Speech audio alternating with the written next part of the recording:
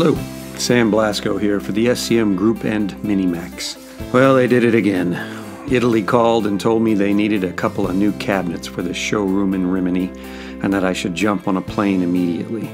I knew this would be a tough, treacherous assignment. The last time I went, it took me months to lose the five pounds they put on me, and this year they vowed to make it 10 pounds. It may be a cruel world for woodworkers, but I never say no to a challenge or great food. In this video, I will be showcasing some new and exciting machines that are being added to the line for 2018 and 2019.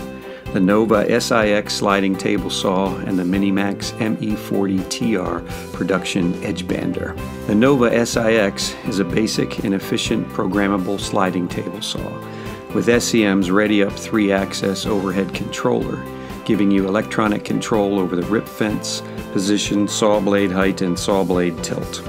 What separates this saw from other saws in its class is the double tilting feature. It is the only one that has the ability to both positively and negatively tilt the blade to plus or minus 46 degrees. Until now, if you wanted or needed this feature, you had to spend more than twice the money to get it, like with the SCM L'invincibile SIX, our extreme top-end saw. Here you see I have been cutting up my sheet goods on the SIX for the base cabinet and getting into some cross-cutting.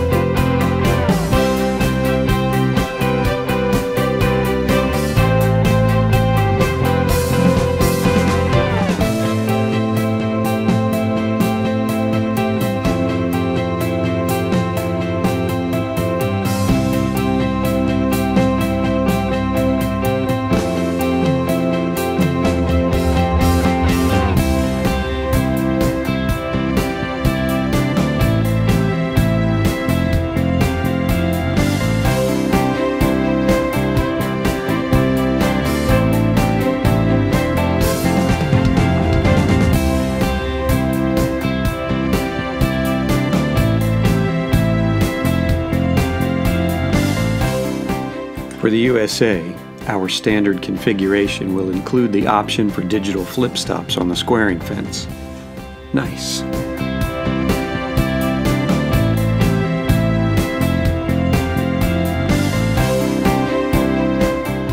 Now I am breaking things down for the upper cabinet.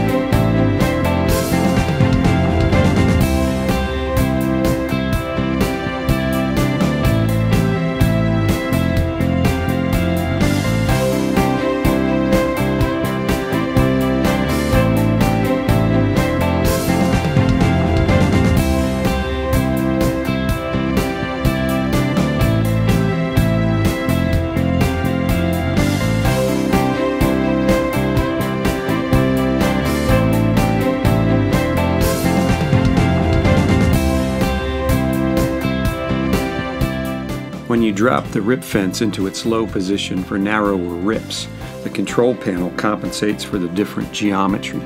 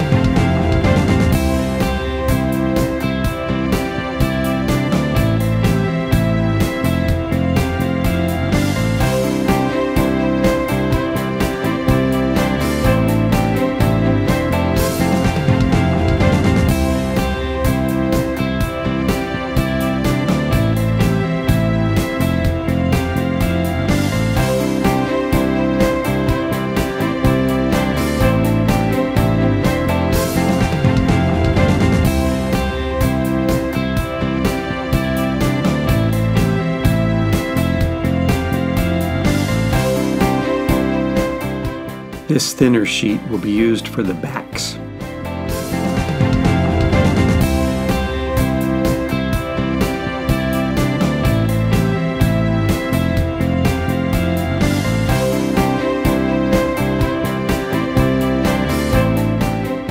Another new feature of this machine is its ability to receive a standard dado stack up to 3 quarters of an inch wide. I just need a quarter inch groove for my backs so I don't need to load any of the inner chippers here.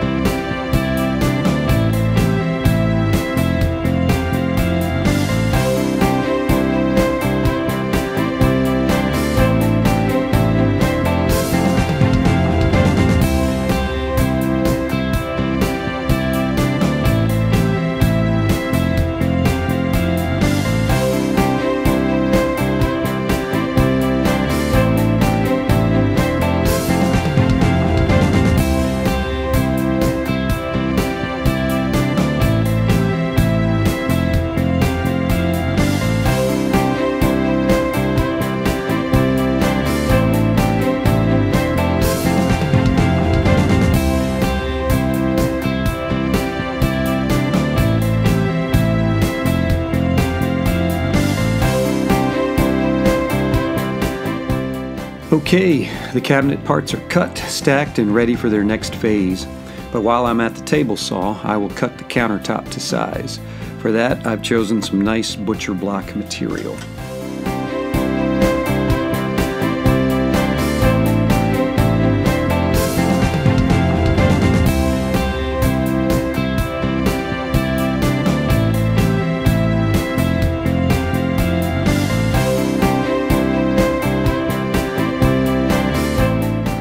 Here you can see me change the protection hood so that I can angle the blade.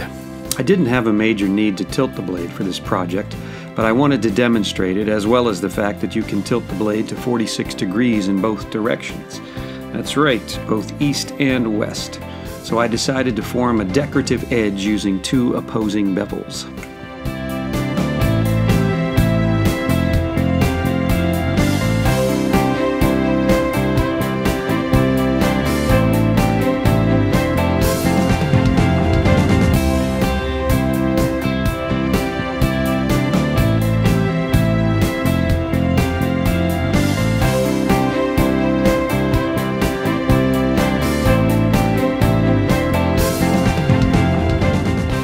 Pretty slick, eh?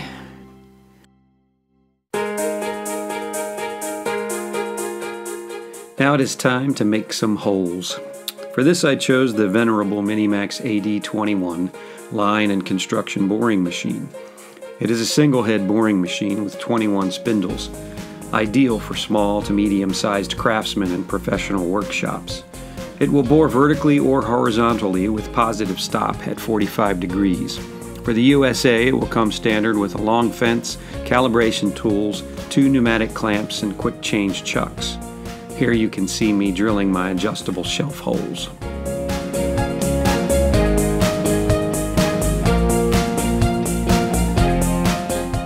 Now I am setting up the machine for construction boring.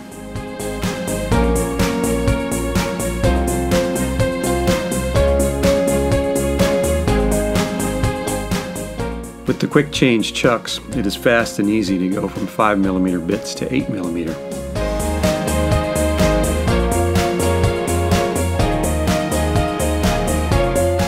Then I dial in my bit height and set the turret stop for depth of bore.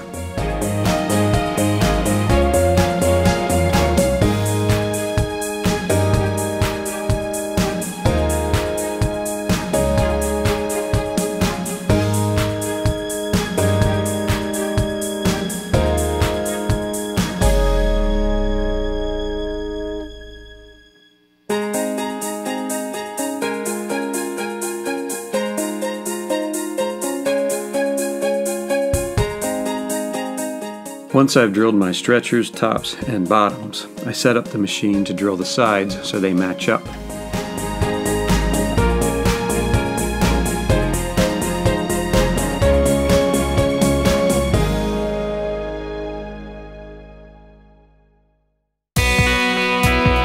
time for some edge banding. The Minimax ME40 TR bander represents the top of the line for Minimax and is intended to bridge the gap between small, limited edge banders and production line machines.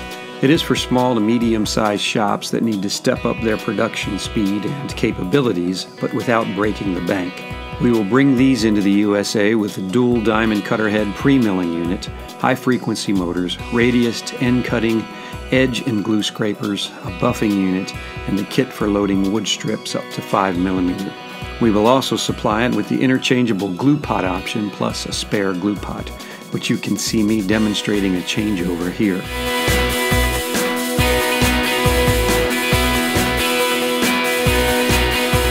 Pretty cool.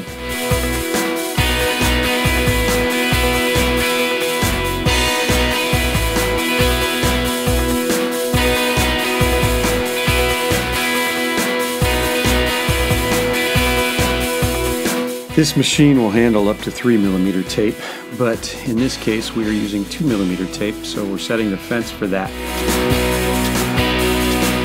At the control panel, choosing the stations that I want on, and go! This is the first Minimax Edge Bander with a track feed system, so we can really speed things up.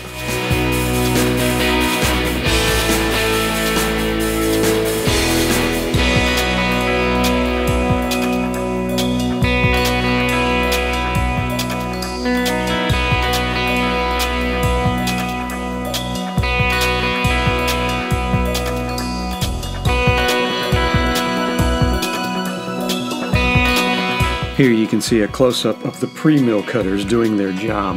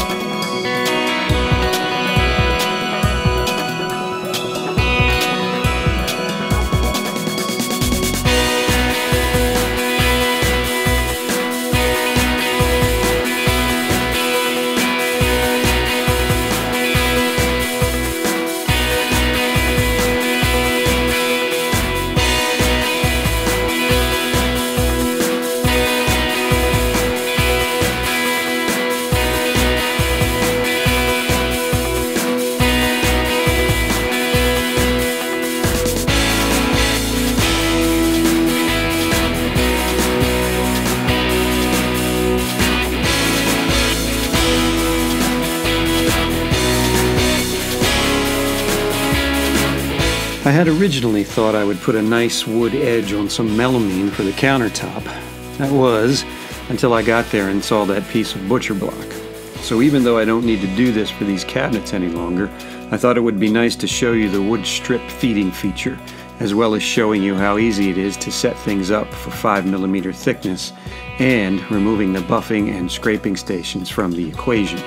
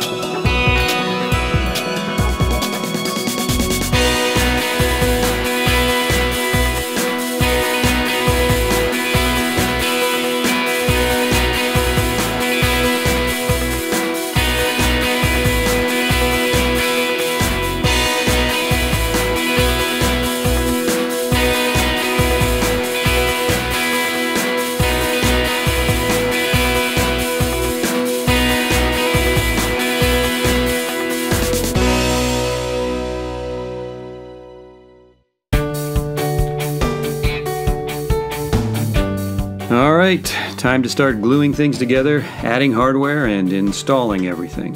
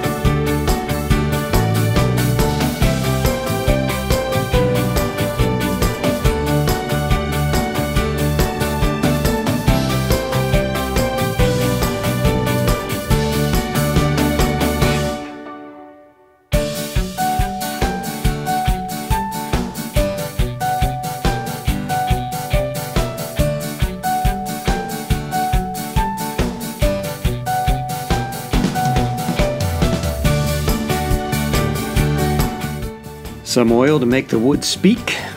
Beautiful. And voila, another successful job using fantastic machines. Thank you for watching. Time to head back to the States and try to lose those extra pounds they put on me. Ciao.